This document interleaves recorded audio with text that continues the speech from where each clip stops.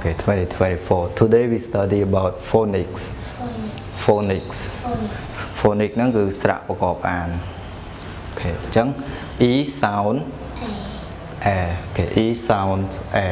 អញ្ចឹងអាហ្នឹងយើងរៀនពី family មួយគឺ ET អញ្ចឹង E a a T ថោះ a ថោះ at at a ថោះ at at អញ្ចឹង at family at family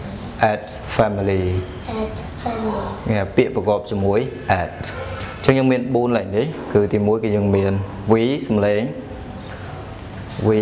wa wa at wet wet wet wet wet wet អូខេអញ្ចឹង wet សំដៅទៅលើពេទ្យសត្វមានពេទ្យដែលព្យាបាលសត្វអញ្ចឹងណាអញ្ចឹងយើងនិយាយថា she is a vet ឬក៏ he is a vet អញ្ចឹងមក អូខេមួយទៀតគឺយើងមាន G G សំឡេង ka កក at cat cat cat cat cat cat ហ្នឹងគឺប្រែថាទទួលយកអីមួយអូខេអញ្ចឹង I get a book ខ្ញុំទទួលបានសៀវភៅមួយ I get a pencil ខ្ញុំទទួលបានខ្មៅដៃមួយឬក៏ I get a pen ខ្ញុំទទួលបានប៊ិចមួយអញ្ចឹងមកអូខេ get ពីទី3យើងមាន W សំឡេង W W W air and ថោះ wet wet wet wet okay again wet wet wet okay wet wet ហ្នឹងគឺថាទឹកសើមអញ្ចឹងណាគេថា wet តា I am wet today or she is wet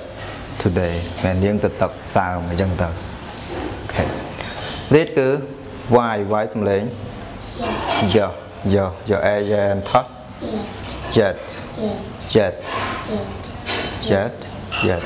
yet ហ្នឹងប្រែថានៅឡើយចានៅឡើយយើងអត់ទទួលបានអីមួយចឹងគេថា yet ហើយចា I don't have a book yet I don't have a book yet នេះខ្ញុំអត់ទាន់មានសភៅទេចឹងណា yet អូខេចុះ once again phonics e sound a អូខេ again e sound a អូខេ at family at family អូខេយើងមានពាក្យ wet wet wet get get get wet wet wet yet yet yet អឺ very good គឺអញ្ចឹងយើងមានប៉ុណ្្នឹងឯងនៅក្នុងអឺមេរៀនថ្ងៃហ្នឹងគឺយើងរៀនពី phonics ET អូខេ